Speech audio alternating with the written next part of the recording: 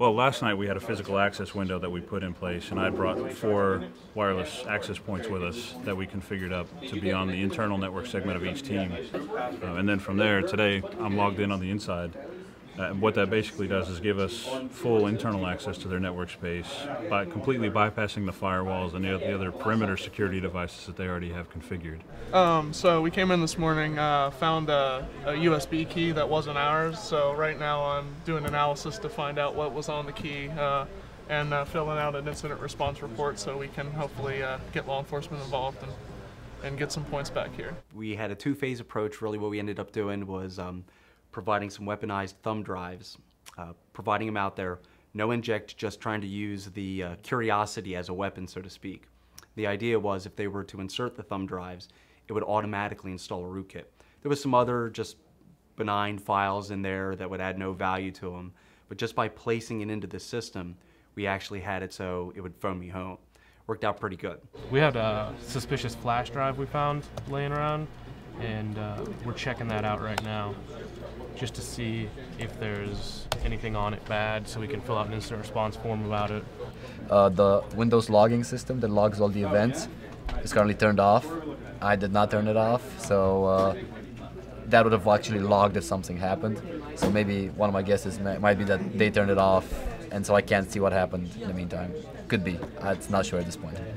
The other phase of it was really going into the boxes, doing something in a real world environment, how would be someone having access to a box? It's the toughest piece. You can do all this logical security and all the technology pieces, but if someone can get to the physical box, you're always going to have problems. Uh, it looks like someone did, might have done something nasty to our machine overnight. It looked almost like someone plugged something in this computer because there's errors about media removal. Before we started yesterday, I went around and uh, put four of these MP3 players with microphones in them, taped them under the tables, and put them in record mode. And last night we went around and collected uh, some of them. Two of them the teams found, and uh, actually one of them, Casey, just brought it back out to me, and it still has a live recording on it. So I'm listening to the information now to see if I can pick anything up from it. I'm rebooting this machine because I'm having a little trouble with this terminal. They're a little bit tighter today. Actually, I would say a lot tighter today. So we're really trying to um, get our hands around what's left and try to hit the services that we know that they can't block us from a firewall perspective. Since they have injects and they have to keep certain services running, we're looking at those services and trying to find vulnerabilities in those. So I'm 1002. You're 1002. He's 2002. There's 3001. Pretty much everything started uh, about a month ago. We'd uh, everybody had gotten together and we were talking about what we were going to accomplish or what things we were hoping to do.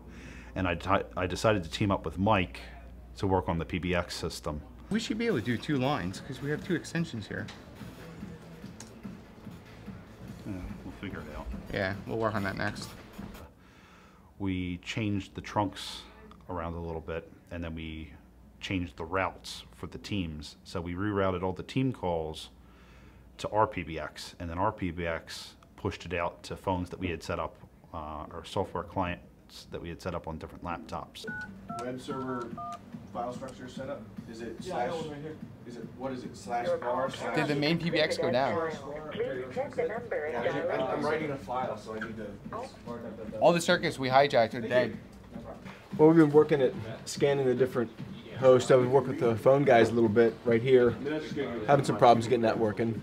Um, some of the systems out there have, uh, and there's there's an extra router that really isn't needed. And some of the systems haven't found that yet. So I've been able to use that to jump around their firewall and get in on the inside of the network. Can you answer?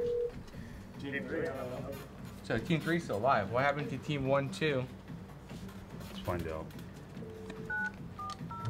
Uh, right now, I'm checking our phone system. Uh, we have a problem with one of the phones. I'm trying to figure out what's going on with it. Yeah, that's us. There we go. All right, we're fine.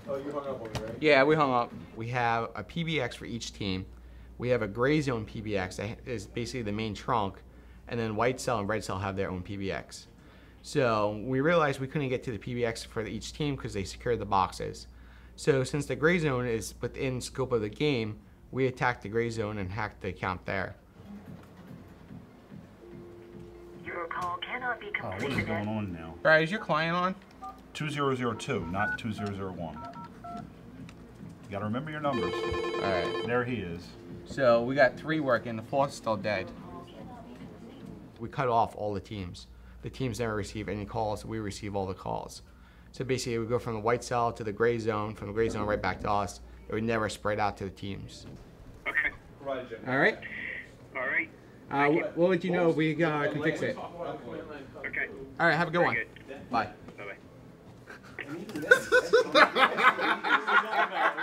We just started intercepting calls as phones rang. So we got a call from the CEO, Paul, uh, asking us if we followed up on our instant response uh, about the Asterisk box going down.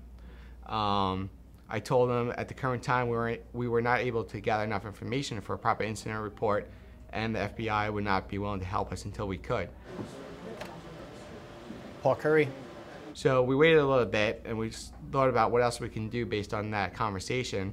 And we decided we'll call Paul back and say that it was an insider that did it and that we have proof. We had video logs and uh, uh, system logs saying that Dennis uh, basically hacked the box. Okay, I will be down in uh, less than a minute. Very good. Thank you.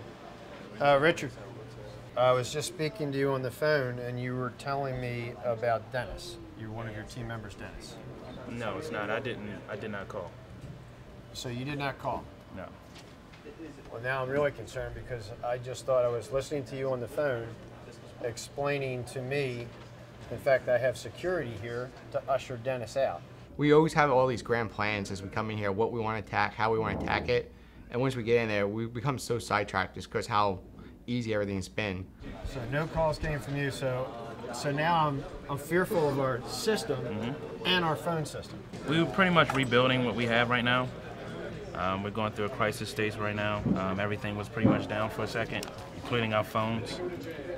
It's not only is the system down and sabotaging people entering it, but the phone system's down. So somebody can call in from anywhere impersonating someone. So there's uh, some real legal issues with that. 10.6881.103 allowed into our network. It so should I be. can It should be okay. As long as the competition continues to evolve the security landscape to something that is realistically comparable to what's out there during that current time, I I think the contest will benefit everyone in that respect. Last year, they didn't introduce VoIP systems until the regional competition, and this year we had them in the qualifiers and the regional. Uh, and that's a very real thing that most companies are, are getting into these days. The voice over IP, IP phones, that's something that most large enterprise companies have considered going to if they haven't already transitioned to it. So that the fact that the students have to interact with that and manage those systems now is representative of current technology. Rick, how we looking? Uh, we're getting close. All right. So, you know, it's not much we can really do, but just keep working at it. You know, and just don't, just don't over, you know, stress about it. You know, because that's not really helpful. We're able to reroute a couple calls here and there. Um, and then pretty much we were told after uh, after lunch, no more calls. Forget it. Drop it. No more. So then we, we went on to try and do a couple other little things behind everybody's back. So Hopefully, once we get this working, we're gonna have something that he wrote that'll basically turn the phones into speaker phones so we can start paging people. I know exactly how they did it. Um, it just was amusing to me at the time, but it's it's just another issue that we have to work on. We should be we should have that locked down by now. So We discovered that PHP admin wasn't protected. There was no username and password on it. So we added our own account to it, and then using the account that we added, we then able, had the ability to execute system commands. So we used the system command to create a PHP file that had a backdoor in it, and using the backdoor, we set up a netcat listener, which is like another backdoor on the TCP side, and then using that, we connected from core over to the netcat listener and uploaded a core agent, which now gives us shell access. And now we're attempting to gain escalate our privileges up to root level, so then we can have full control of the system. Got all that?